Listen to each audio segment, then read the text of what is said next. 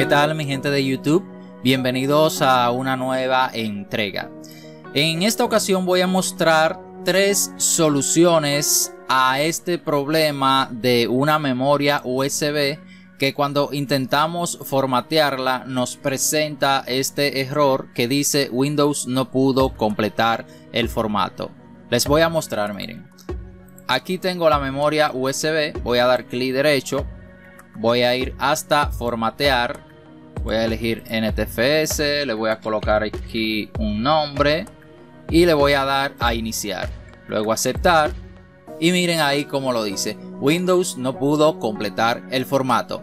Quiero aclarar que estos procedimientos van a formatear su memoria USB, es decir, que todos los archivos que ustedes tienen ahí lo van a perder. Si quieren saber cómo recuperar estos archivos antes de realizar este procedimiento, pues aquí en mi canal tengo más video al respecto. Bien, vamos de inmediato a solucionar este problema. Le doy a aceptar aquí, aquí cierro. Eh, vamos a ver las propiedades de esta memoria, clic derecho. Vamos a ir hasta propiedades. Y como pueden ver, aquí dice espacio utilizado 0, espacio disponible 0, por lo que no está reconociendo su capacidad. Bien, vamos a emplear eh, el símbolo del sistema en el primer método. Vamos a ir hasta nuestra lupa y vamos a escribir CMD Así miren, CMD. Aquí vamos a dar clic derecho y hay que ejecutarlo como administrador. Damos clic, aceptar. Bien, y aquí está ya la consola. El otro método que vamos a utilizar es desde el administrador de disco. Aquí, administración de disco. Miren, ustedes van aquí. Botón inicio de Windows, clic derecho, Luego, administración de discos. Ahí. Ese es el otro método que vamos a utilizar. Ahí ya se abrió. Desde aquí también vamos a presentar algunos ajustes. Pero vamos con el primer método que es desde aquí, desde el símbolo del sistema. Vamos a escribir disk part, así como está. Y luego presionamos enter. Ahora escribimos lo siguiente. Con este comando se van a mostrar todos los dispositivos de almacenamiento que tenemos disponible en nuestra computadora. Presionamos Enter. Como pueden visualizar, están ordenados por números, letra. Aquí está el tipo de archivo, aquí está el tamaño, estado y la información. Para nosotros identificar dentro de todos estos dispositivos de almacenamiento la memoria USB, pues vamos a ir hasta el equipo y vamos a ver con qué letra está identificada nuestra memoria. En este caso está identificada con la letra D, pero no siempre será así. Esto va a variar dependiendo de la cantidad de dispositivos de almacenamiento que ustedes tengan disponible en su computador que tengan instalado, ¿ok? Aclaro esto por si acaso y a ustedes no le está apareciendo su memoria USB con la letra D y le aparece con otra, pues usted va a sustituir esa letra y va a colocar la que tiene su memoria, no la mía. La mía yo voy a hacer el procedimiento con esta, ¿ok? Bien, aclarado esto, vamos a ir hasta acá y vamos a seleccionar ese dispositivo de almacenamiento que en mi caso es letra D número 6. Entonces, para seleccionarlo es bastante simple, solo hay que escribir y luego damos espacio y agregamos el número que está identificando nuestra memoria USB. En mi caso es el número 6. Míralo aquí, letra D, número 6. En su caso esto puede variar. Le damos enter y como pueden ver dice el volumen 6 es el volumen seleccionado. Ahora vamos a darle una limpieza y para ello vamos a escribir clean, clean así en español. Clean y presionamos enter. Dice Dispar ha limpiado el disco satisfactoriamente. Si a ustedes le presenta algún inconveniente en este paso, pues sigan con los demás pasos. Recuerden que son tres métodos. Si este no le funciona, pues vamos a probar los dos restantes. Luego de esto vamos a formatearla desde aquí, desde el símbolo del sistema. pero antes vamos a crearle una partición y para ello vamos a escribir create partition primary así como está escrito y presionamos enter.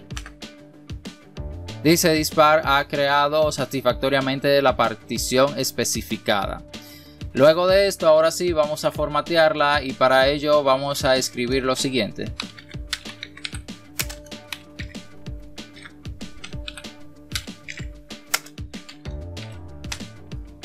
Ahí está, miren. Está escrito format, luego hay un espacio, fs signo de igual, ntfs que es el tipo de archivo que le vamos a agregar, espacio, quit. Ahora presionamos enter y dice dispar formateó el volumen correctamente. Ahora vamos a verificar si realmente nuestra memoria está funcionando y efectivamente ya podemos abrir la memoria. Ahora en dado caso de que este procedimiento le haya causado algún inconveniente, le haya dado algún error, pues vamos a pasar al siguiente procedimiento que es yendo hasta el botón inicio de Windows dando clic derecho. Luego vamos a ir hasta el apartado que dice administración de discos Estando aquí vamos a poner nuestro puntero del mouse en este apartado de aquí, vamos a agarrarlo para bajar hacia abajo. Siempre los dispositivos de almacenamiento USB se ponen o se colocan aquí abajo automáticamente al final. Aquí podemos ver que la letra es la letra D. En mi caso, recuerde que también lo puede ubicar por la letra y por su capacidad. Esta memoria es de un gigabyte, sé que es bastante viejita, ya no la están fabricando de esa capacidad. Entonces, si en su equipo eh, la letra es diferente a la mía, pues usted debe de hacer coincidir la letra que está acá en el equipo, esta letra que está dentro de paréntesis, con la que le va a aparecer acá, ¿ok? Entonces, sabiendo esto, vamos a dar clic derecho en esta parte Luego vamos a dar donde dice nuevo volumen simple. Siguiente, siguiente, nuevamente siguiente, de igual modo y finalizar. Ya se realizó el procedimiento, vamos a ver. Aquí está. Bien, ya tenemos nuestra memoria funcional. Para el último paso vamos a emplear un pequeño programa que se llama Rufus. Aquí está, este que está acá y vamos a ejecutarlo. Al final del video le voy a mostrar cómo pueden descargarlo. Aquí está, vamos a verlo. Desde aquí le va a aparecer la memoria USB. Ha cambiado de letra porque con el procedimiento anterior se le asignó una nueva letra. En este caso es la letra H. En este programa solo se identifican o aparecen aquí eh, memoria USB. Aquí no van a aparecer los discos duros. El procedimiento que vamos a hacer es bastante simple. En esta sesión vamos a desplegar este menú y vamos a elegir no auto ejecutable. Luego aquí agregan el nombre de la memoria y aquí le damos a empezar. Aceptar y ahí está ya realizando, creando lo que es el sistema de archivos. Son algunos pasos que se terminan bastante rápido. Como pueden visualizar ya se acaba eh, de finalizar o acaba de finalizar este procedimiento. Podemos cerrar aquí, vamos a nuestra memoria. Eh, ese programa que le mostré anteriormente es para crear memorias booteables con sistema operativo. Vamos a abrir acá estos dos archivos, lo podemos eliminar. Y lo más importante de todo es que podemos dar clic derecho encima de la memoria, formatear y luego iniciar y ahora podemos formatearla con toda la normalidad, la memoria. Ahí está durando un poquito más de lo normal porque recuerden que la memoria tenía un defecto y lo está corrigiendo. Ya podemos formatear con toda la normalidad desde el sistema. Para descargar este programa que utilicé en esta demostración, simplemente vamos a abrir nuestro navegador, el de su preferencia, y vamos a escribir aquí la palabra Rufus. Como pueden ver nos enlaza a rufus.ie, vamos a darle un clic acá, bajamos un poco, vamos a bajar y vamos a descargar ya sea la versión portable o la ejecutable. Voy a descargar, usted le da ahí a descargar, ya sea la que usted desee.